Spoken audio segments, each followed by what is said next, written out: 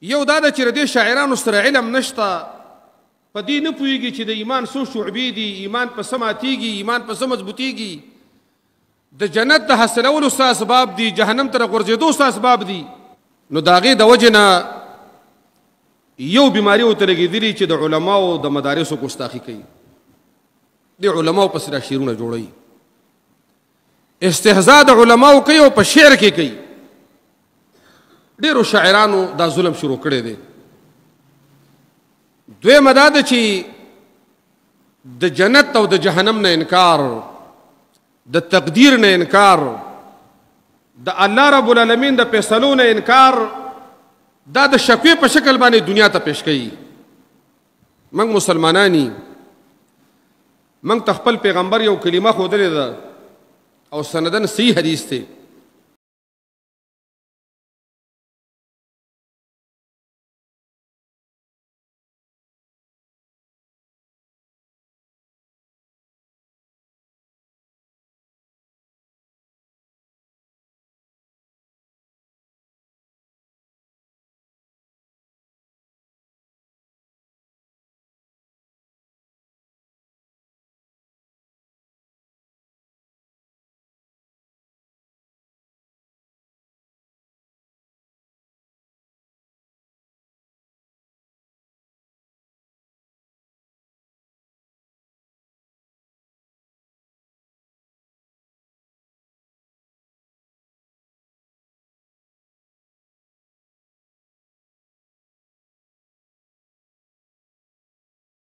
لوم منګ با د تقدیر نه انکار نکوو د دې شاعرانو دا بد قسمتي ده بل ورځم یو ځان ته تعلیم ابتم ویو خداغه اشعار د سیو چیرې لاندې دې پیدا کړی لاندې خپدي او دا غریبانان پیدا شوی دي دا خپدي د یتیمانان پیدا شوی دي دا خپدي او نعوذ بالله موږ د الله نه خپي او الله زمنګ نه خپدي دا الفاظ به حیثیت مسلمان دا د مؤمن شان نه دی ځکه پتا د نعمتونو سیلاب را روان دی هر قسم نعمت پتا د الله تر طرفه دی کستا لباس ته کستا وجود دی کستا بچی دی کستا رزق دی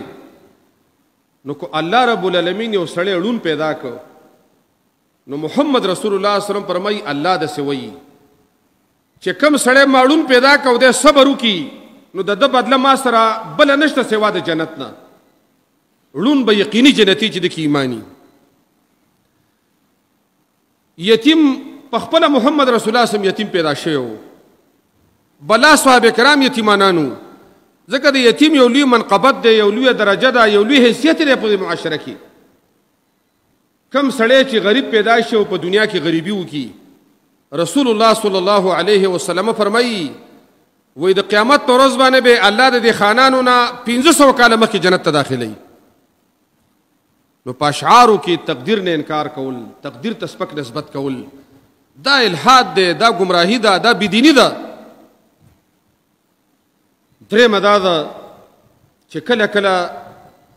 دغه خلک د اسلامی شاعر به عزت شروع کی اوس یو عمل سنت دی لکه دا ګیره د محمد رسول الله سم طریقه ده د انبیو طریقه ده که څوک د ګیری نه پری دی ګناګار دی خو ګیری توهین او کو ګیری ته سپکو قتل په ګیره پسې ټوکې وکړې دی به ایمان نه خلاصي کېږي ته کفر وای مسواک استعمالول سنت دي خو مسواک منل فرض دي که چا د مسواک نه انکار وکړ دی به ایمان نه خلاصيږي نو مدرسه پس ټوکي علماو پس ټوکي دیندار خلکو پس ټوکي په جنت او جهنم پس ټوکي دا شی سړی گمراه کوي بی دینه کوي بی ایمانه کوي اکثر څومره شاعران چې ګورئ هغوی د خلکو د خنده کولو دپاره دا معیار جوړ کړی دی سره د هغې نه موږ په محمد رسول الله صم باندې ایمان راوړی دی د الله نبی فرمایي چې څوک په ګڼه کې د دې دپاره دروغ وایي چې خلک وخندوي د خلکو د خندا کولو دپاره دروغ شروع کی نو د الله نبی فرمایل ویل له ویل له ویل له هلاکت او تبعی د د پاره هلاکت او تبعی د دلره هلاکت او تبعی د دلره نو دی اشعارو کې د الله بیزتی د رسول الله بیزتی د سنت بیزتی د علماو بیزتی د دین دی الله منګو زمنګ د مسلمانان شاعرانو ساتي مخکې او شاعرو